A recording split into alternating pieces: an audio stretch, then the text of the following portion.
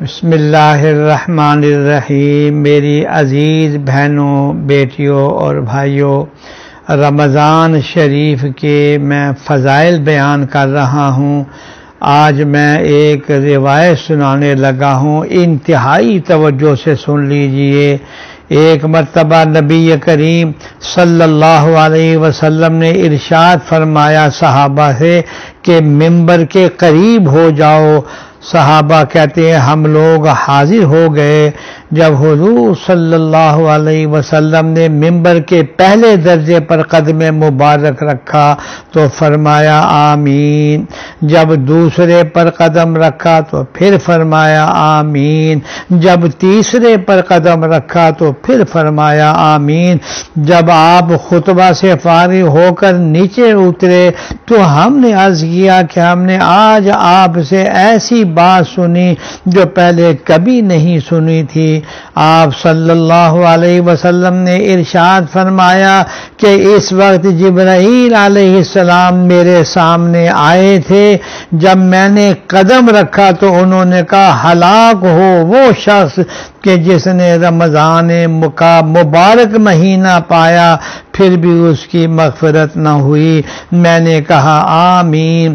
پھر جب میں دوسرے سیڑھی پر درجے پر چڑھا تو انہوں نے کہا، ہلاک ہو وہ شخص کہ جس کے سامنے آپ صلی اللہ علیہ وسلم کا ذکر مبارک نام نامی آئے اور وہ درود نہ بھیجے، میں نے اس پر بھی کہا آمین۔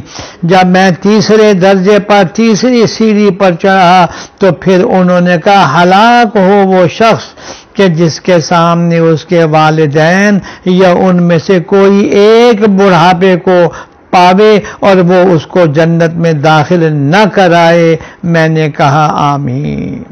میری عزیز بہنوں، بیٹیوں اور بھائیوں، اس حدیث میں حضرت جبرائیل علیہ السلام نے تین بد دعائیں دی ہیں۔ اور حضور اقدر صلی اللہ علیہ وسلم نے ان تینوں پر آمین فرمائی۔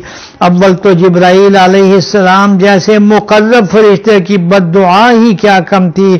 اور پھر حضور اقدر صلی اللہ علیہ وسلم کی آمین نے تو جتنی سخت بد دعا بنا دی، وہ ظاہر ہے، اللہ ہی اپنے فضل و کرم سے ہم لوگوں کو ان تینوں چیزوں سے بچنے کی توفیق عطا فرمائے۔ اور ان برائیوں سے محفوظ رکھے، ورنہ ہلاکت میں کیا تردد ہے؟ یا اللہ ہم سب کو صحیح سمجھ عطا فرما۔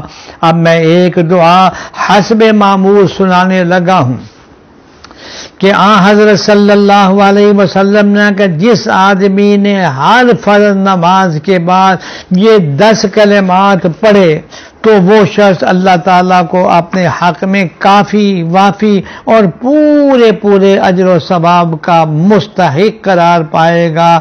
ان میں سے پانچ حاجتیں جس کا تعلق ہماری دنیا کے ساتھ ہے اور پانچ کا تعلق آخرت سے ہے۔ وہ آپ سن لیجیے۔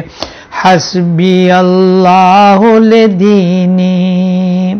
حسبي الله لدنيايا حسبي الله لما أهمني حسبي الله لمن بغى علي حسبي الله لمن حسدني حسبي الله لمن كادني بسوء. ترجمہ۔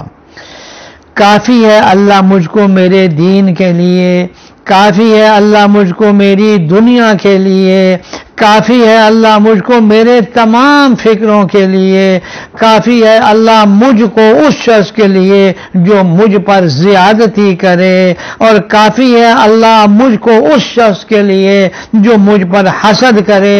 کافی ہے اللہ مجھ کو اس شخص کے لیے جو برائی کے ساتھ مجھے دھوکہ اور فریب دے۔ پانچ چیزیں جن کا تعلق آخرت کے ساتھ ہے، وہ بھی سن لیجیے۔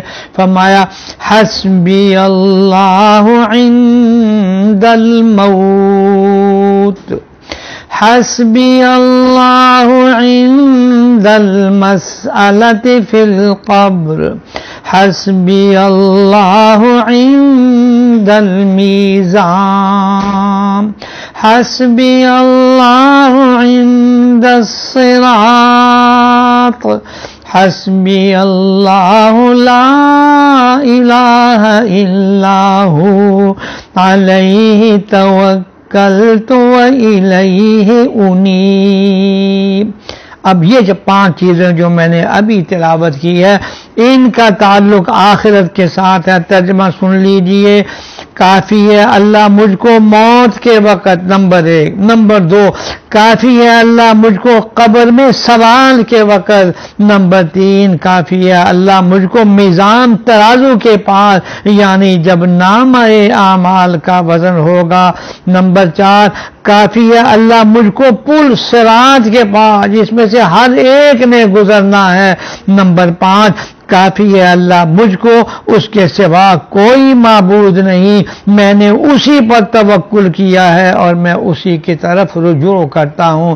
میری عزیز بہنوں، بیٹیوں اور بھائیوں، یہ دعائیں جو حضرت صلی اللہ علیہ وسلم نے ارشاد فرمائی ہیں پانچ کا تعلق ہماری دنیا کے ساتھ، پانچ کا تعلق ہماری آخرت کے ساتھ ہے۔ یہ روزانہ صبح کو پڑھنے کا معمول بنائیں۔